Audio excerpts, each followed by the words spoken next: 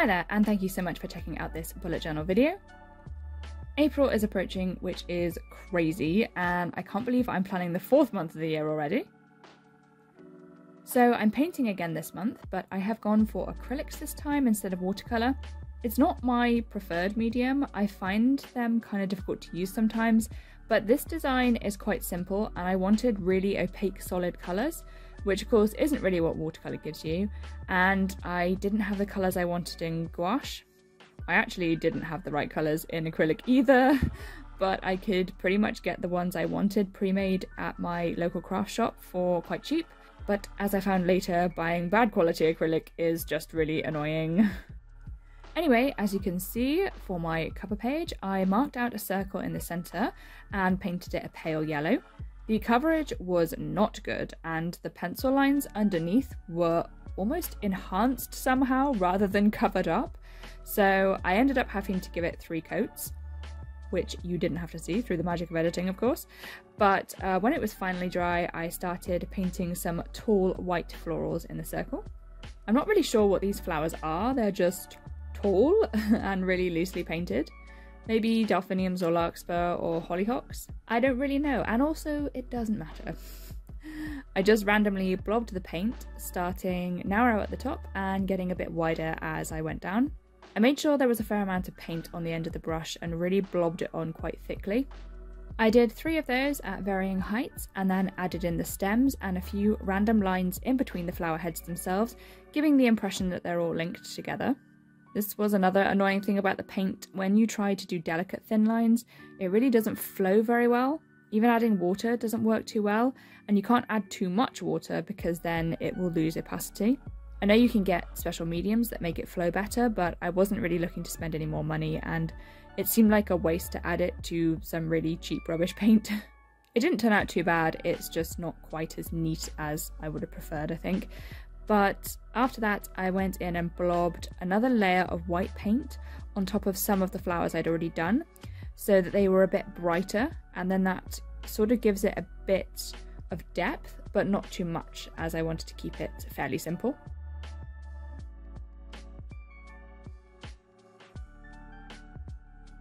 I mixed up a little bit of brown and white to use here and there to show the centre of a flower and felt like the green of the leaves was a bit bright so I mixed a tiny bit of the brown with the green and added a few streaks of the toned down colour which I think made it look a little better.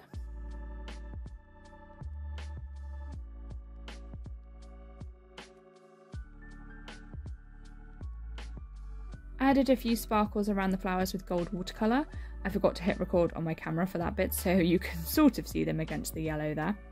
I added the April title with a 0.8 nib black ink pen. I toyed with a few different options for this and decided black ink would be the best.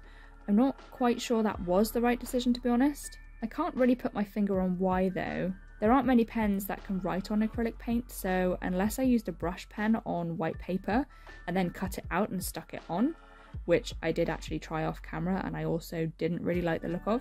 The black ink kind of felt like the only option. I don't hate it or anything, it's just not my best work, I don't think. If you have any thoughts on alternative ideas for this title, then uh, let me know in the comments. I felt like the page needed a little extra something to finish it off, so I added a gold edge to the top and the bottom. Although, looking at it now, I'm thinking, why didn't I make it a Dutch door? I don't know why that didn't come to me at the time, but never mind.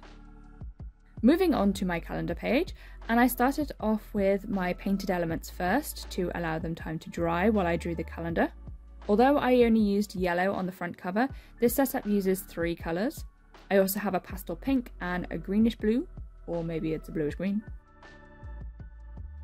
I'm using a pink Crayola felt pen to draw my calendar, and I can't remember if I've ever used them to draw straight lines before, but it's really difficult. The nib slides so easily over the smooth surface, it just wants to go all over the place. I actually ended up measuring the grid slightly incorrectly, and my top box was a bit taller than the rest. To fix that, I decided to colour in a double strip. I kept the very top one for the days of the week, and then the one below I started to write the dates of the month out, and that seemed to sort the issue.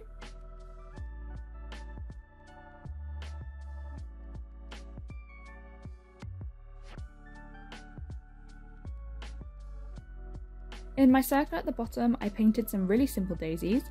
I used the brown to depict the centres of the flowers first, and then built the side view of the daisies around them. Drawing a side view of them makes it really quick and easy to do. It's pretty simple to do, I just use a thin brush loaded with white and paint long petals going into the centres. I press down a little harder on the outer part of the petal and then apply less pressure towards the middle so it kind of gets a slightly elongated teardrop shape.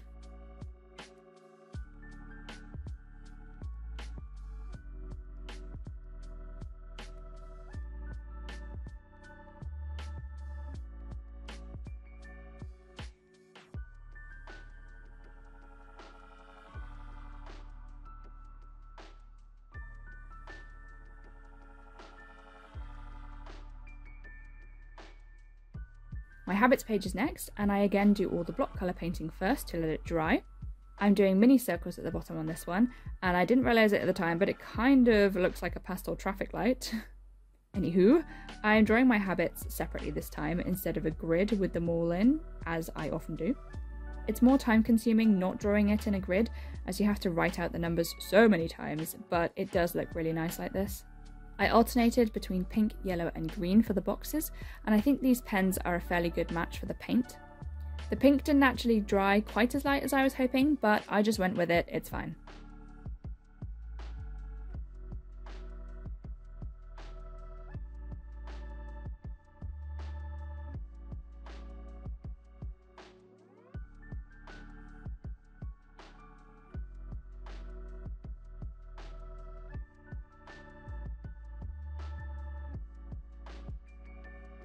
In the circles, I did mini versions of the flowers that I'd already done, but I was really indecisive about what to do in the pink one. I ended up going for a cow parsley type plant. I think it's called Queen Anne's lace in North America, but I didn't really like how it turned out that much. It's fine in a small circle, but I decided to try something else in the rest of the spread.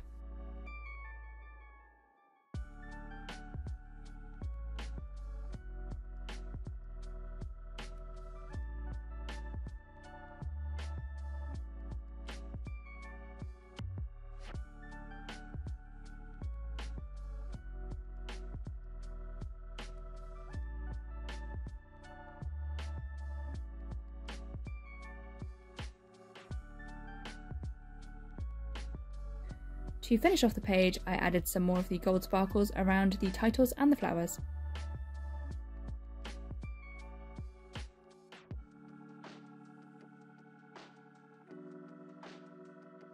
Next up is my plant watering tracker, and I did do this one in a grid format. I really didn't want to write all those numbers again, and at this time of year, I don't need to water the plants that often, so I'm not going to be ticking things off that frequently, and it seems a bit of a wasted effort to draw them all out individually.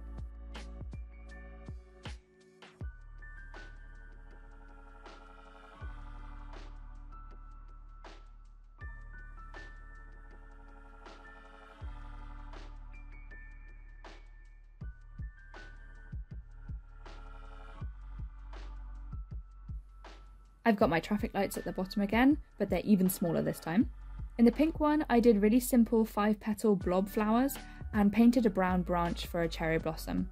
And I do like that a lot better than the one I did on the previous page, so I kept going with that design throughout the rest of the spread.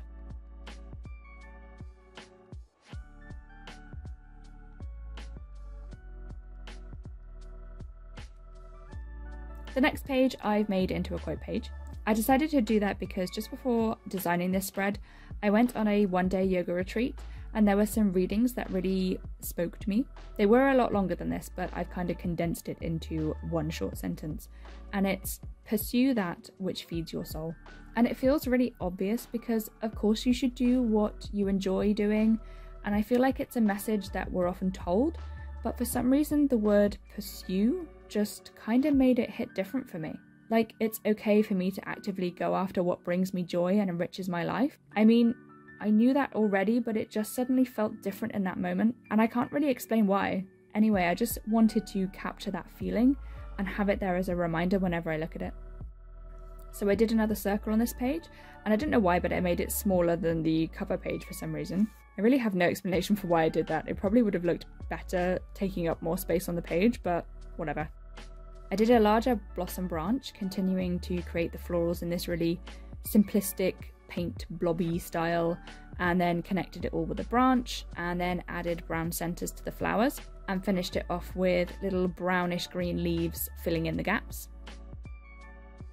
I added my quote in the same simple cursive font, and then finished the page off with some more gold sparkles.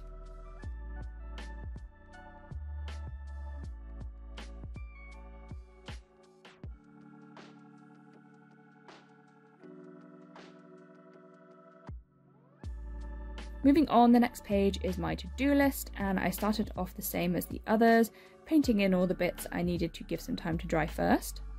I was only doing one bit of decorative painting at the bottom of this double page spread, so to make it look less blank, I used a very pale Tombow brush pen to highlight every other line. And uh, yeah, that was it. it's pretty simple, but it's uh, going to fulfill its purpose. I did want something a lot simpler this time. I absolutely love how my March setup turned out, but it was very time consuming, so I'm glad this one is simpler and quicker to create. My gratitude page is on the other side, and as usual, I am using a line for each date of the month.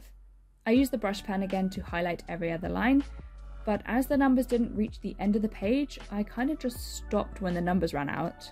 But that then left a chunk at the bottom that wasn't highlighted, and it does look kind of weird seeing as it goes all the way to the bottom on the other side.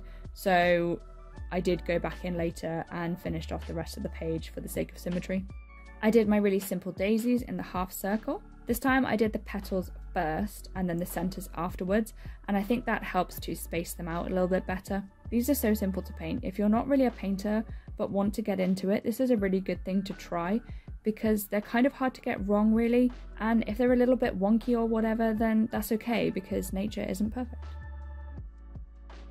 I feel like I've sounded a little negative on occasion about this setup so far, and there are definitely elements that I'm not loving, but I really like how my weekly spreads have turned out.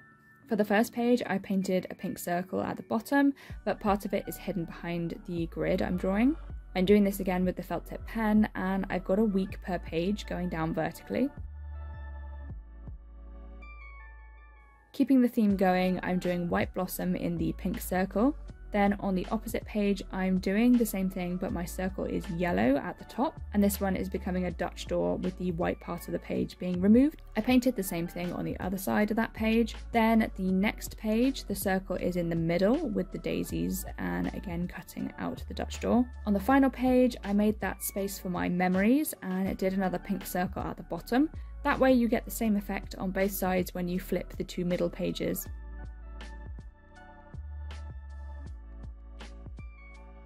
There was quite a bit of white space either side of that, so I did some more gold lines to finish it off. And yeah, I really love how this one turned out. And that is April all finished. Overall, I'm really happy with how this turned out. There were definitely a few bits here and there that I wasn't loving, but yeah, on the whole, I'm happy with it. I really love the simplicity of the limited colour palette, and my favourite page was definitely the weekly spreads with the Dutch doors. Thank you so much for watching this video. I really hope you enjoyed it and it might have given you some inspiration. Please feel free to leave a comment and a like and consider subscribing to my channel if you want to see more arts and crafts and bullet journals. Thanks so much. Bye.